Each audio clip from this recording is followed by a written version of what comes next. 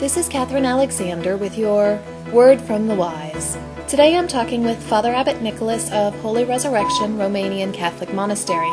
You can visit the monks on the web at www.hrmonline.org.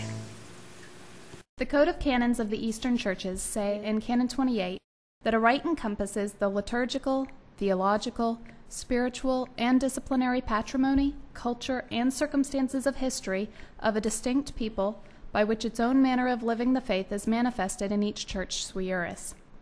Father Maximus and I were previously discussing the differences between a rite and a church, but I would like to focus now on the difference in theology between the different rites used by the Catholic churches. What does each rite having a different theological patrimony mean in this context?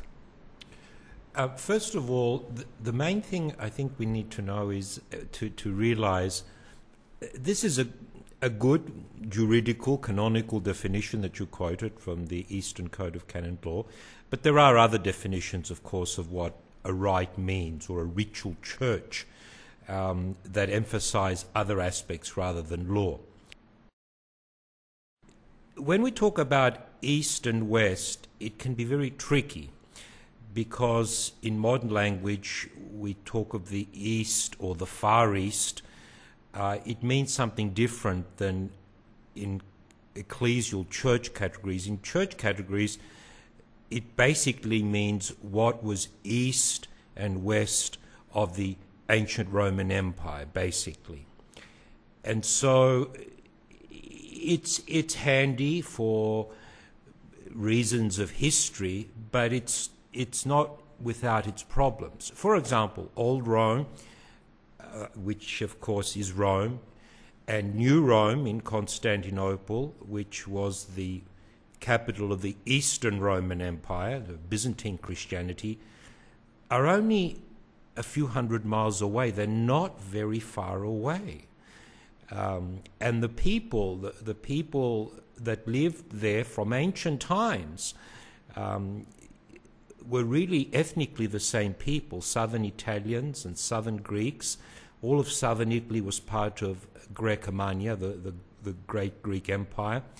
And so we can't take these extremes too far. And on the other hand, the Chaldean church or the Assyrian church or um, the Syrian church or even the Coptic Church, uh, they are much more Oriental, or the Malabar Church, much, much, much more different. In some ways, I think you could probably say Latins and Byzantines, in some ways, are Westerners together, and all the others are really much more Eastern. So those labels have limited, uh, limited relevance.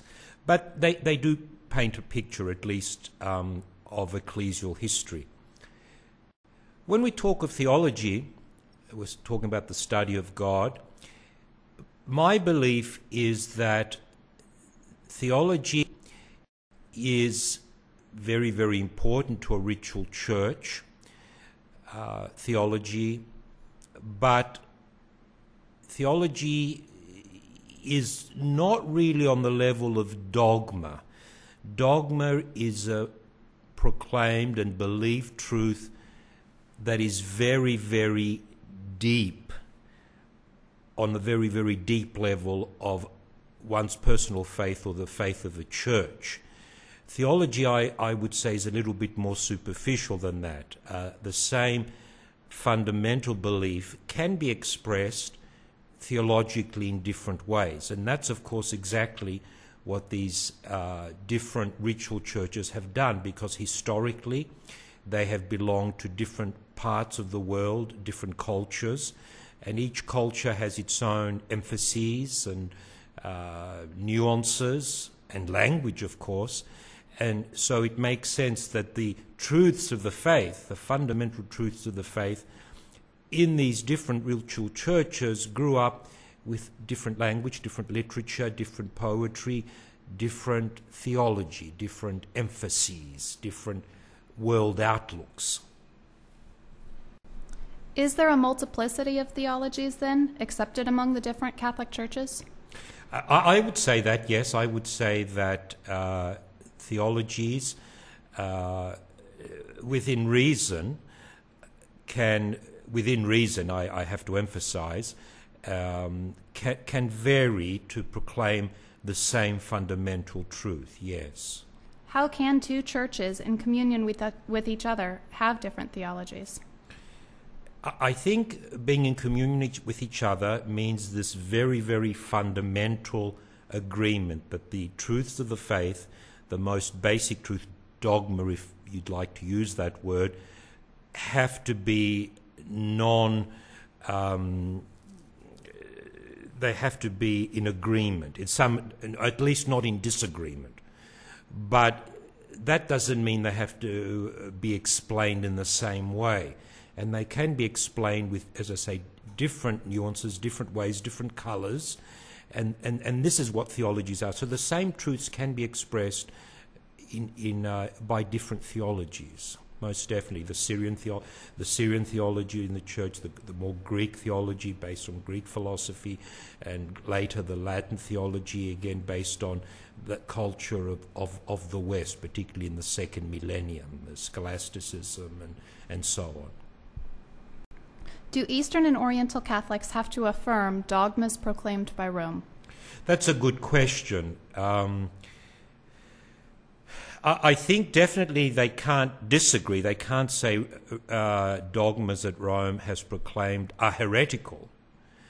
But I think they are at liberty to say within our theological um, outlook, our theological tradition, our theological history, these particular ways of expressing that truth are, are sort of foreign to us. We haven't expressed the basic truths that we believe with Roman Catholics, but we haven't expressed it in this way because of historical circumstances. For example, the way uh, Rome, the way the Western Church, the Latin Church has proclaimed and defined, and the language it uses to define the real presence in the Eucharist, is basically, is of course, um, relative to the Reformation and the Counter Reformation, a problem that was experienced in the Western Church. And so, to address that problem, uh, locally, what was used in the West, philosophical categories and so on, uh, were used to, to make that definition in the East. It didn't happen in the same way at the same time. And so, the understanding of the real presence, the theological definition of the real presence of Christ in the Eucharist, I don't think it's contradictory, but it's, it's different. It's different. That would be much more influenced um, by the, the, the, Byzantine world, at least, is much more heavily influenced in its theology by the church councils, but particularly the council against iconoclasts, uh, uh, to, against the iconoclasts, um, and and that has a certain colouring throughout Byzantine theology that's very influential. That in the West it wasn't such an issue at that time, in that way, and so uh, that is that kind of outlook is, is more foreign to the West, at least has been historically. Do Eastern and Oriental Catholics have to accept all Roman Catholic teachings and theology then? Well, they can't disagree with them, I don't think. They can't say they're heretical. So they have to recognize that they are acceptable. But whether it has to have a lot of relevance to their own particular church outlook or faith outlook or, or theology. Um, no, I, I, don't think they do because it's foreign to their way of looking at things. But it's not wrong. They can't ever say, "Well, no, this this is uh, heresy. This is this is wrong." But they can say, "I think it, it does. It I don't. My outlook on the faith comes from a different historical perspective, different emphases, if you like. To clarify, then, may Eastern and Oriental Catholics reject dogmas procra- proclaimed by Rome as being outside their theological patrimony? Yes, they can certainly say that. They can't.